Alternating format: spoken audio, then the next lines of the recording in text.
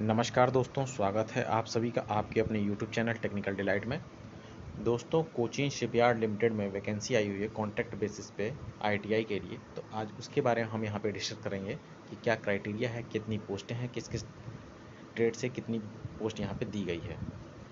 Okay तो सबसे पहली बात कि अगर आप चैनल पर नए हैं तो चैनल को सब्सक्राइब कर लें, वीडियो को लाइक करें और इस वीडियो को अपने दोस्तों में शेयर कर दें, ताकि आपको हर जानकारी मिल पाए और दूसरों को भी हर जानकारी मिल पाए।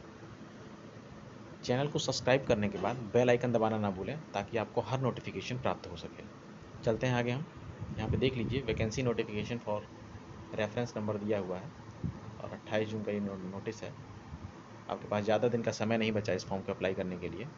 जैसे name of a post trade educational qualification and experience तो ये वैकेंसी जो है, जैसे शीट मेटल वर्कर की है तो आईटीआई पास होना चाहिए फिटर ट्रेड में। और तीन साल का एक्सपीरियंस होना चाहिए fabrication that is cutting fit up and welding process का। ये शीट मेटल वर्कर के लिए है। फिर उसके बाद देखते हैं वेल्डर के लिए। वेल्डर के लिए भी सेम तीन साल का एक्सपीरियंस चाहिए। आउटफिट असिस्टेंट ऑन कॉन्ट्रैक्ट इसमें भी फिटर के लिए आई होना चाहिए। मिनिमम थ्री ईयर एक्सपीरियंस होना चाहिए। उसके बाद मैकेनिक डीजल इसमें भी आईटीआई पास थ्री ईयर का एक्सपीरियंस होना चाहिए। Mechanic motor vehicle ITI pass होना चाहिए। थ्री ईयर का एक्सपीरियंस होना चाहिए आपका। फिर आते हैं प्लम्बर पे। प्लम्बर का भी आई होना चाहिए, तीन साल का एक्सपीरियंस चाहिए। पेंटर में भी आपको आई पास होना चाहिए, तीन साल का एक्सपीरियंस चाहिए। और इलेक्ट्रीशियन में भी आपको आई पास होना चाहिए और तीन साल का एक्सपीरियंस होना चाहिए। ओके फिर यहाँ पे देखिए क्रेन ऑपरेटर क्रेन ऑपरेटर में भी आईटीआई पास होना चाहिए इलेक्ट्रीशियन और इलेक्ट्रॉनिक ट्रेड में और तीन साल का एक्सपीरियंस होना चाहिए। इलेक्ट्रॉनिक मैकेनिक में भी तीन साल का एक्सपीरियंस और आई इंस्ट्रूमेंट मैकेनिक में। Same wright wood machinist air condition technician and draftsman civil इन सब में आईटीआई पास और तीन साल का आपका एक्सपीरियंस होना चाहिए ओके इंपॉर्टेंट डेट्स में बात करें तो पंद्रह जुलाई इस फॉर्म की लास्ट डेट है। ओपनिंग डेट हो चुकी थी इसकी तीस जून से, ठीक है?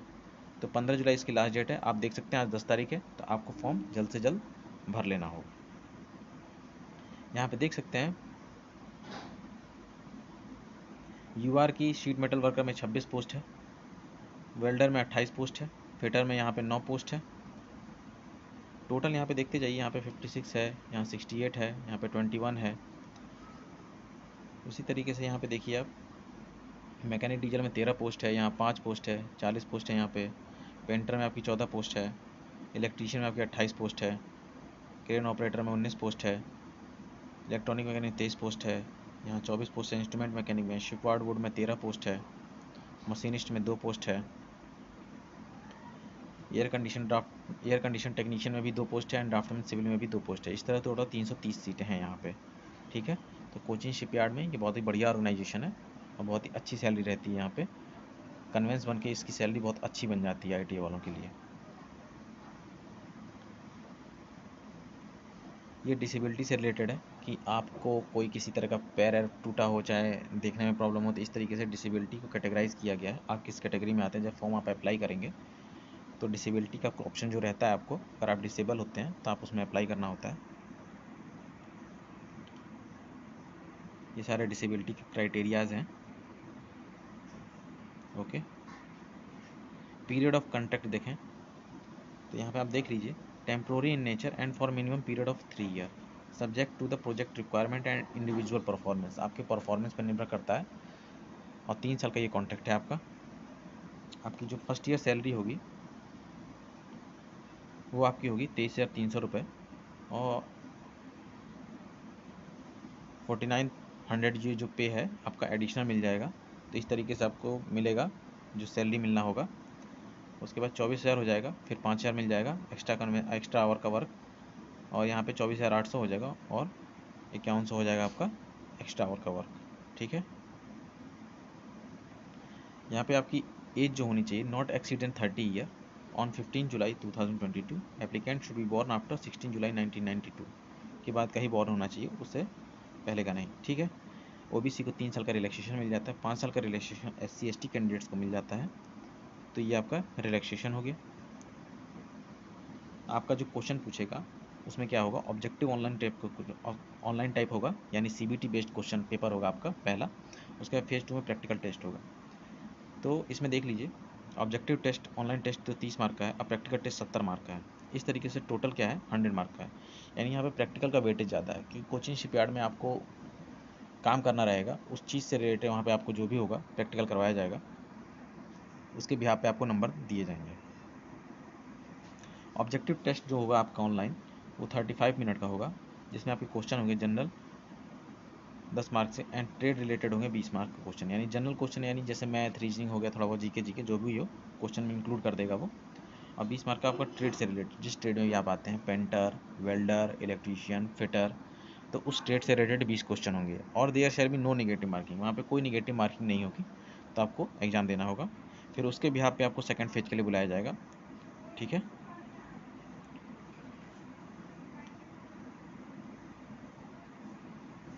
क्वालिफिकेशन में मैंने आपको बता ही दिया है कि आईटीआई होना चाहिए और तीन साल का एक्सपीरियंस होना चाहिए।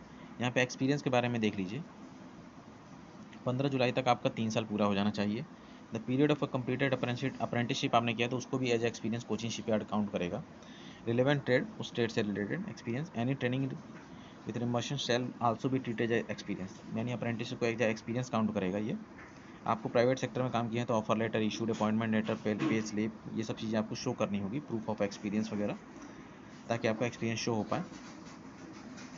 तो ये सब चीज़ें बातें होगी आपकी एक्सपीरियंस से रिलेटेड एप्लीकेशन फ़ी के बारे में यहाँ बात कर लेते हैं तो तीन सौ रुपये का यहाँ पे अमाउंट का एप्लीकेशन फ़ी लगेगा, जो कि आपको पे करना होगा, जो नॉन रिफंडेबल होगा, जो रिफ़ंड नहीं किया जाएगा आपको। ओके आप इस वेबसाइट पे विज़िट करके, इसका लिंक मैं आपको दे दूँगा, इसके कैरियर पेज पे जाके सी एस एल कोची में जाके आपको अप्लाई करना होगा। दूसरी बात यहाँ पे ये भी है कि इसका जो आपको एग्ज़ाम सेंटर मिलेगा, वो दो ही जगह का मिलेगा शायद। हो सकता है कोची में ही जाना पड़े आपको। तो आप देख लीजिएगा, जिस किसी को भी फॉर्म फिल करना हो तो इन सब चीज़ों को क्राइटेरिया को ध्यान में रखते हुए ही फॉर्म फिल करेगा।